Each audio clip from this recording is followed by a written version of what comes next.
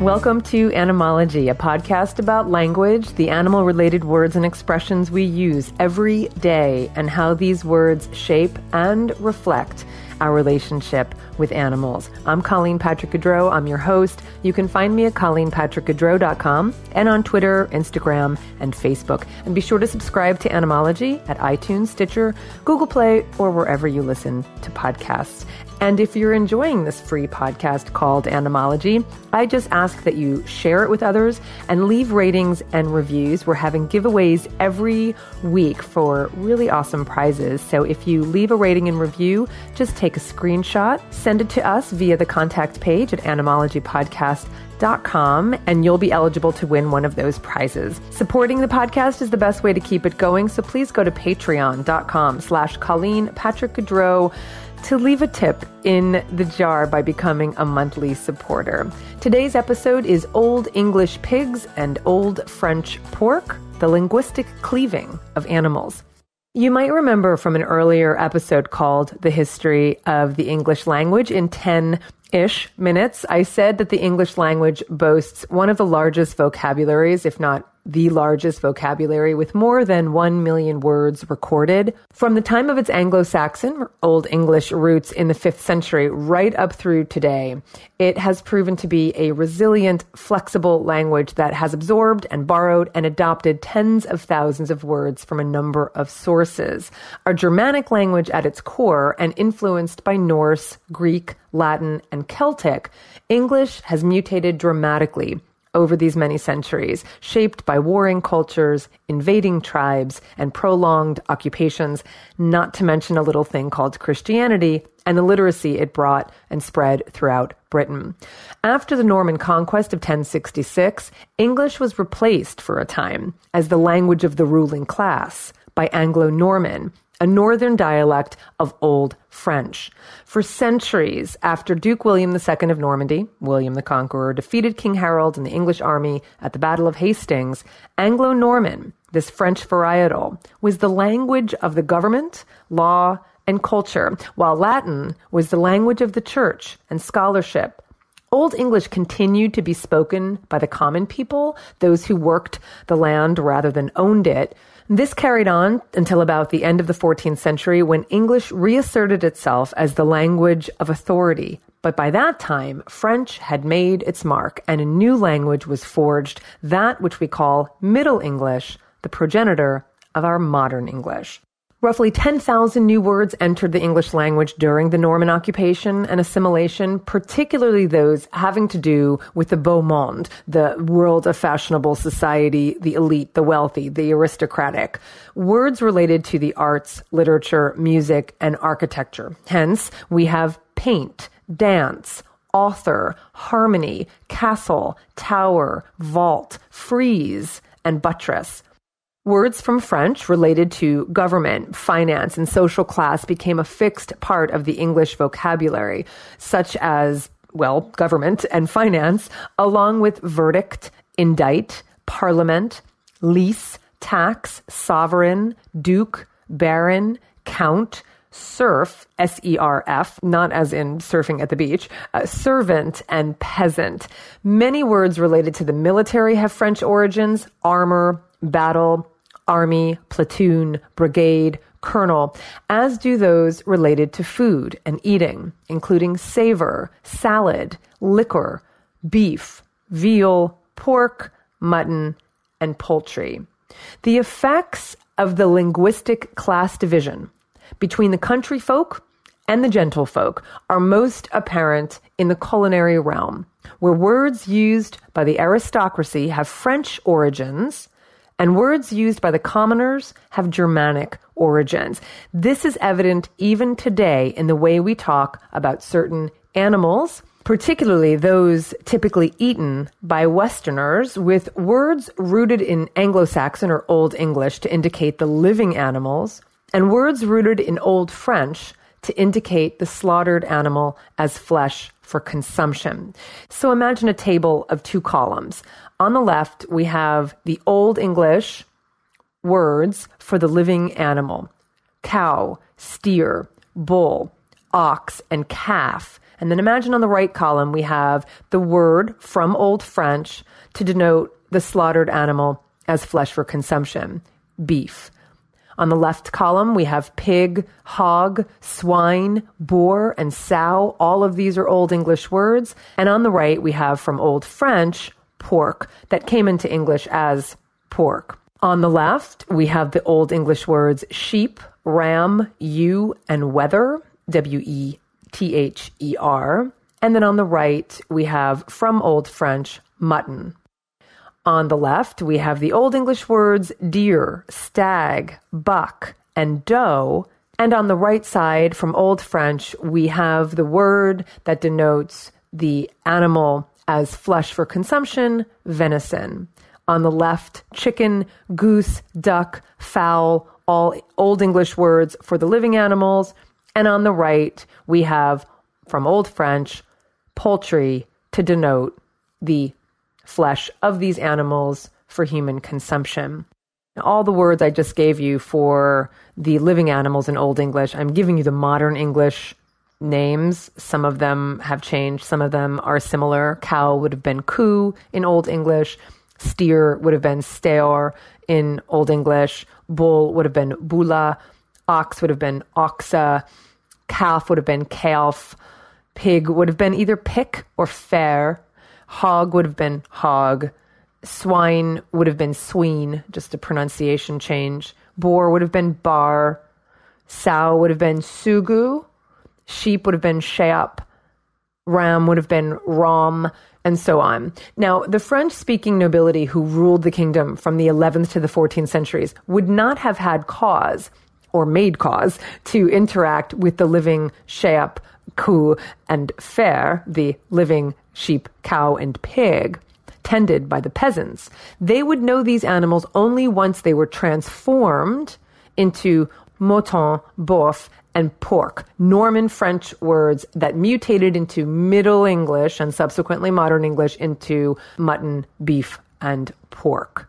This separate lexicon, one word for the living animal, one word for the slaughtered became standardized over the centuries and is evident now in English speakers all around the world. Scottish author Sir Walter Scott famously depicts this medieval class and linguistic division in his historical novel Ivanhoe. Published in 1820, the story centers on one of the remaining Saxon aristocratic families in 12th century England at the time when the nobility was overwhelmingly Norman. An exchange between the swineherd, the pig keeper, Gurth, and the jester Wamba sums up the feudal dynamic of the time. Like the domesticated animals he looks after, Gurth is a thrall, a slave to the Lord, whose chattel status is amplified by the iron collar he's forced to wear around his neck. Wamba true to the literary trope to which he belongs, is the wise fool who uses wordplay to explain what is not readily apparent to others. Here's a quote. Truly, said Wamba, without stirring from the spot, I have consulted my legs upon this matter, and they're altogether of opinion that to carry my gay garments through these sloughs would be an act of unfriendship to my sovereign person and royal wardrobe. Wherefore, Gurth, I advise thee to leave the herd to their destiny, which whether they meet with bands of traveling soldiers or of outlaws or of wandering pilgrims can be a little else than to be converted into Normans before morning to thy no small ease and comfort.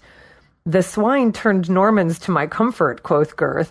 Expound that to me, Wamba, for my brain is too dull, and my mind too vexed to read riddles. Why, how call you those grunting brutes running about on their four legs? demanded Wamba. Swine, fool, swine, said the herd. Every fool knows that. And swine is good Saxon, said the jester. But how call you the sow when she is flayed and drawn and quartered and hung up by the heels like a traitor? Pork, answered the swineherd. I'm very glad every fool knows that too, said Wamba. And pork, I think, is good Norman French. And so when the brute lives and is in the charge of a Saxon slave, she goes by her Saxon name, but becomes a Norman and is called pork when she's carried to the castle hall to feast among the nobles. What does thou think of this, friend Gurth? It is but too true doctrine, friend Wamba, however it got into thy fool's pate. And just a note, pate is a 14th century word meaning head. So however this got into thy fool's head, nay, I can tell you more, said Wamba in the same tone. There is old Alderman Ox, continues to hold his epithet, while he is under the charge of serfs and bondsmen such as thou, but becomes beef a fiery French gallant when he arrives before the worshipful jaws that are destined to consume him. Mynheer Calf, too, becomes Monsieur de Veau in the like manner. He's Saxon when he requires tendance, and takes a Norman name when he becomes a matter of enjoyment. By St. Dunstan, answered Gurth, thou speakest but sad truths. Little is left to us but the air we breathe, and that appears to have been reserved with much hesitation, solely for the purpose of enabling us to endure the tasks they lay upon our shoulders. The finest and the fattest is for their board, the loveliest is for their couch. So Gurth's commentary reflects the phenomenon that has been the case for centuries that animal meat has long been a product of privilege and a symbol of affluence, affordable only to the wealthy, and denied to, albeit raised and processed by, the lower and working classes. Today, it's only because meat and animal products are kept so artificially cheap due to government subsidies and government buybacks that the poor and everyone else can afford to eat several times a day what are in fact very expensive things to produce. Today's consumers don't pay the true cost, economically speaking, of what it takes to produce massive quantities of animal based meat, dairy, and eggs. And although some people celebrate this economic parity, it's proven to have dire consequences for the animals who are bred, for the humans who are overfed, and for the ecosystems that simply cannot withstand the unsustainable stress and strain. Meat and dairy production accounts for nearly 85% of the greenhouse gas emissions and 90% of the agricultural land use associated with the average American diet.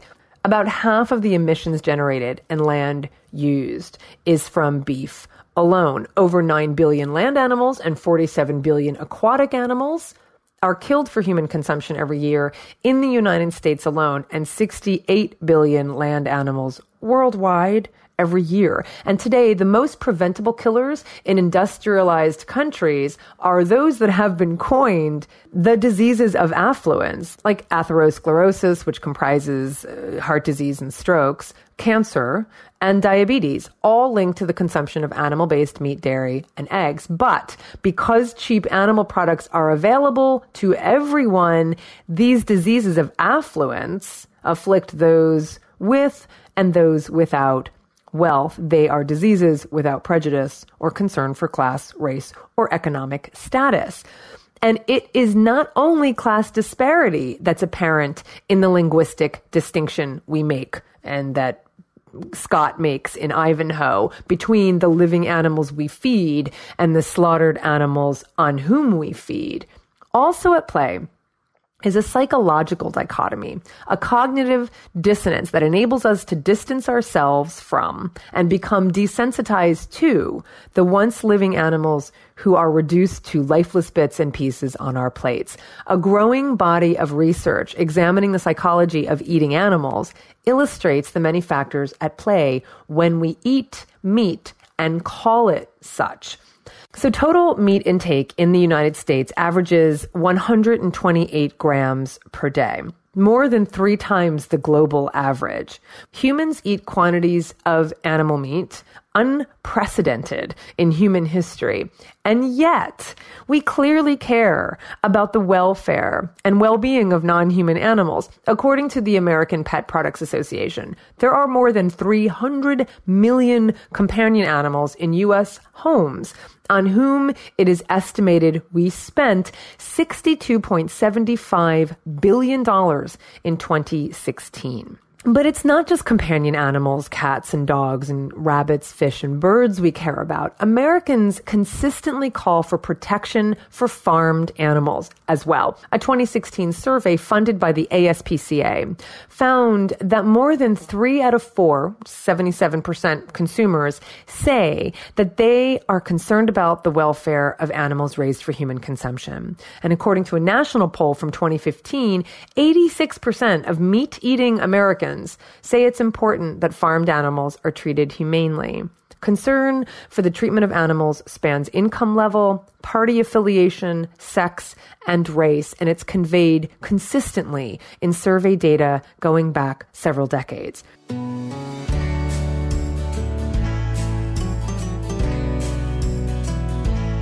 Just a quick break to remind you that Animalogy is brought to you by you, the listeners of this podcast. Think of patreon.com slash Colleen Patrick Goudreau as a tip jar. If you appreciate what you hear in this podcast, you can show your appreciation by filling up the tip jar. Not only does your support make everything that goes into this podcast possible the research, the writing, the preparation, the recording, the editing, the file hosting, the social media marketing you also enjoy some perks, such as written transcripts to each and every episode, which is really helpful for a podcast about words. So show your appreciation by adding a tip to the jar at patreon.com slash Colleen Patrick Goudreau, or you can go straight to animalogypodcast.com and click on the donate button where you'll see options to donate either monthly or make a one-time contribution. So how is it that we genuinely don't want to see animals suffer, and yet we bring billions of them into the world each year only to kill them. How do we reconcile our compassion for their living selves with our voracious appetite for their dismembered flesh? How can we feel one way? And act from such a contradictory place. Well, psychologists studying this tension have coined it the meat paradox, the phenomenon whereby people, this is a quote, people care about animals and do not want to see them harmed, but engage in a diet that requires them to be killed and usually to suffer unquote. As posited by the theory of cognitive dissonance, when faced with a conflict like this, when our actions don't reflect our ethics, we tend to take one of two roads. We either change our behavior to align with our beliefs, or we change our beliefs to align with our behavior. The first option is played out most apparently in the behavior of vegetarians and vegans who choose to stop eating the flesh of animals as well as their eggs and milk, respectively. The second is manifested in more subtle ways, such as by changing our perception of the animals themselves. And this is where language plays a huge role.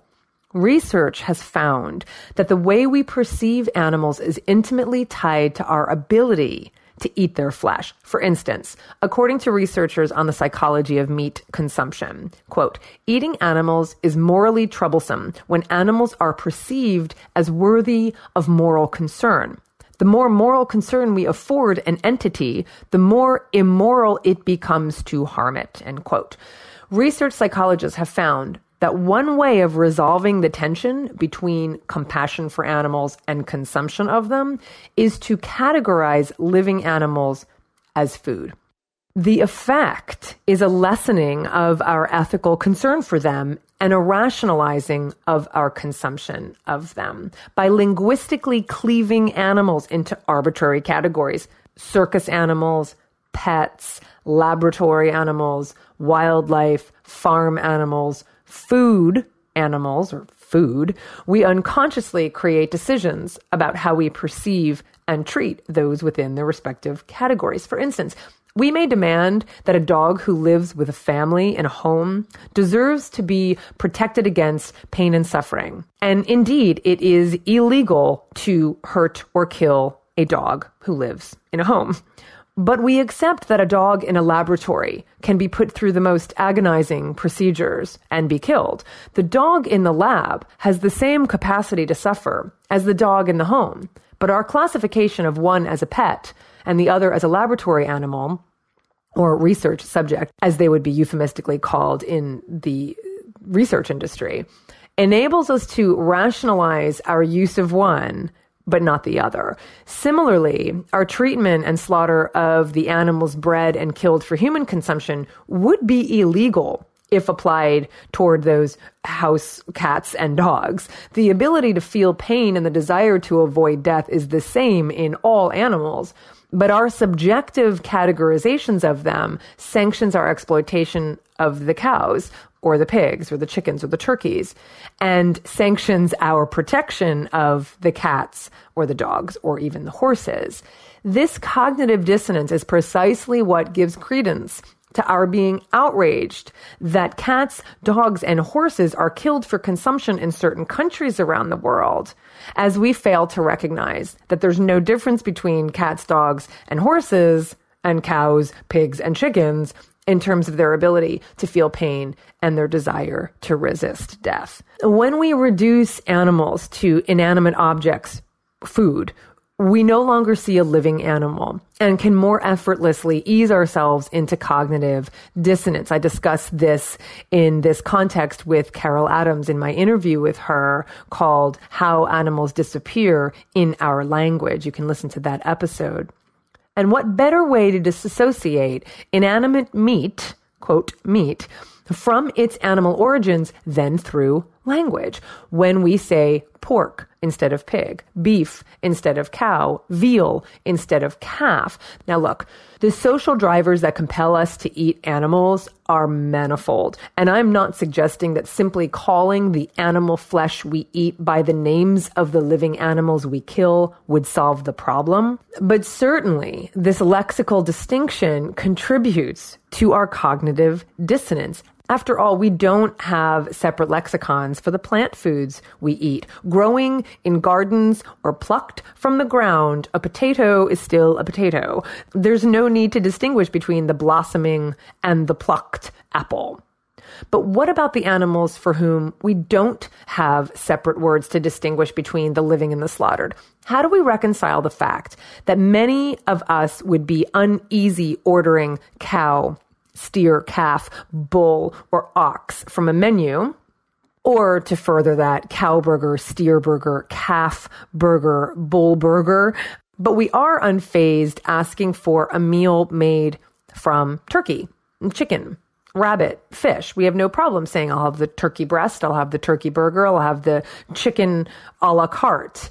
Not to mention bison, shark, or alligator, and the many other animals who appear on our menus by their living names. No doubt, cultural and personal conditioning plays a role. We're taught from a young age to use the word beef to refer to the flesh of cattle, pork to refer to the flesh of pigs, chicken to refer to the flesh of chickens, and sundry other derivatives based on which part of the animal's body is severed for example, ribs, shoulder, leg, rump, or how that body part is processed and prepared, for example, sausage, salami, pepperoni, or ham.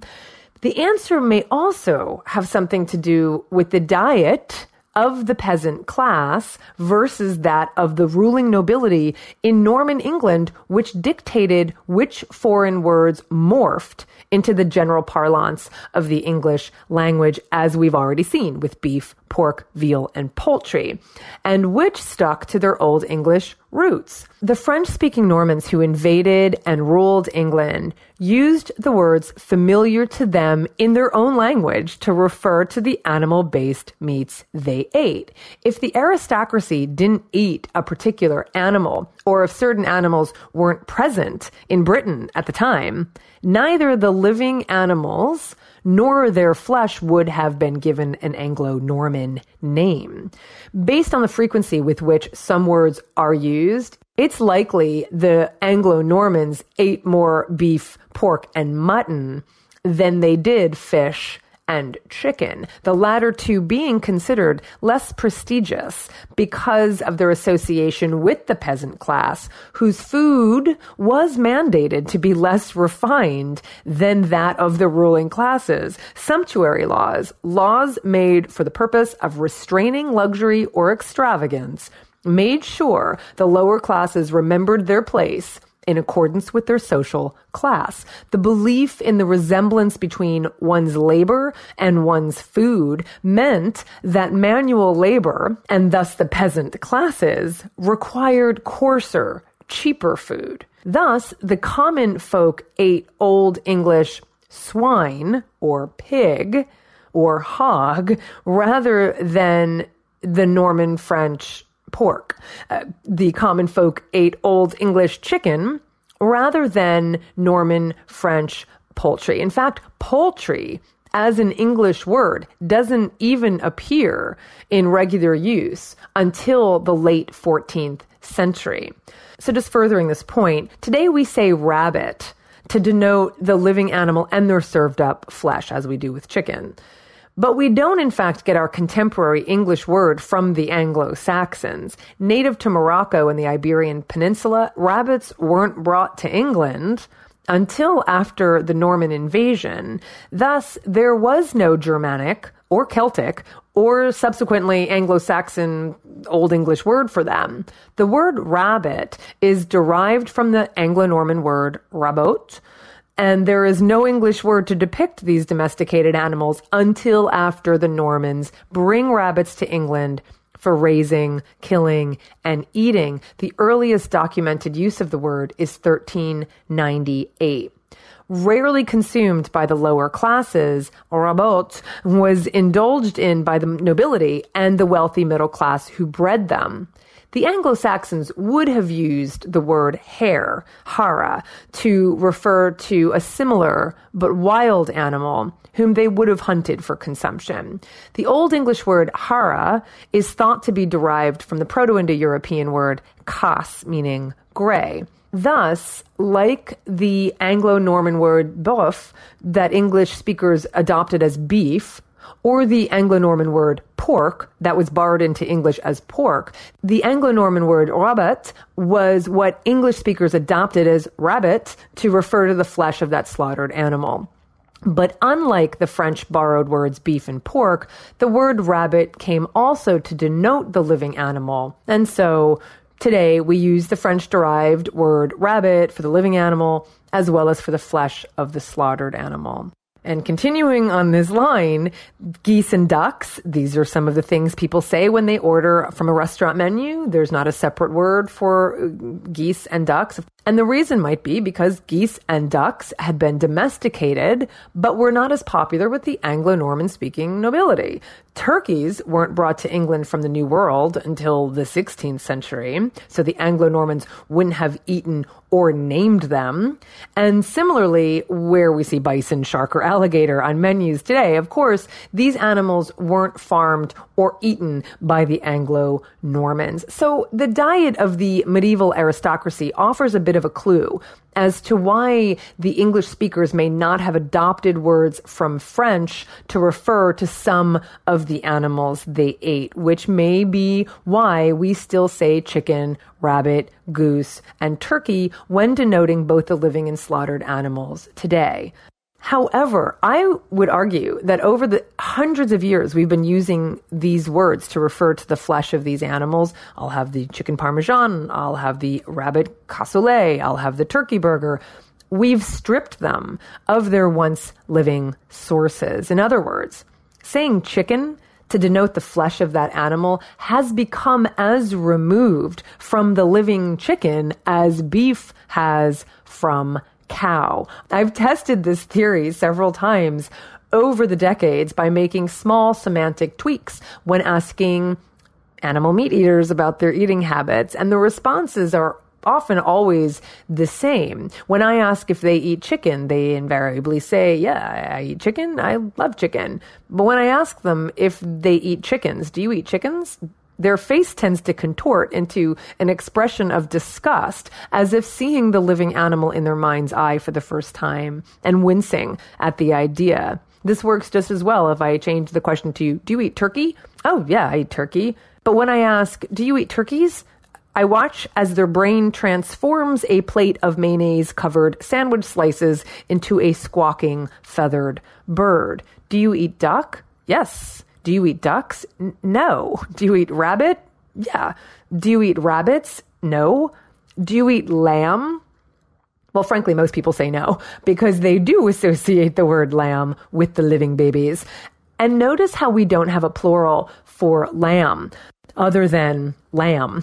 On a separate episode, I discuss what are called zero plurals, where the noun for the singular and the plural remains the same, such as deer or bison or lamb. We don't say deers, bisons, or lambs.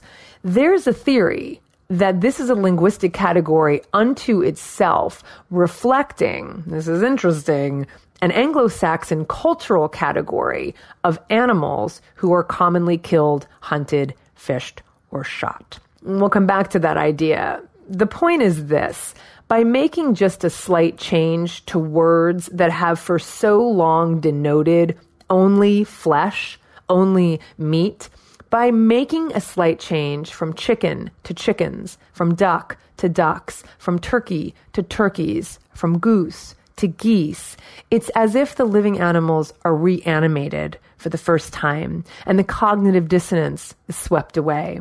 Just a small change puts the animals back into our language and our thoughts, talking about them not as dismembered body parts, but as the living, feeling, breathing, thinking beings they are. Language is not simply a means of communication. It represents and reinforces the attitudes of our culture. It informs and gives social credit to our thoughts and actions. And it masks, justifies, or dulls our ethical red flags. By making conscious choices about how we talk about animals, we may find that we're more inclined to make more conscious choices in terms of our regard for and treatment of them. For the animals, this is Colleen Patrick Goudreau. Thanks for listening to Animalogy, changing the way we talk and think about other animals.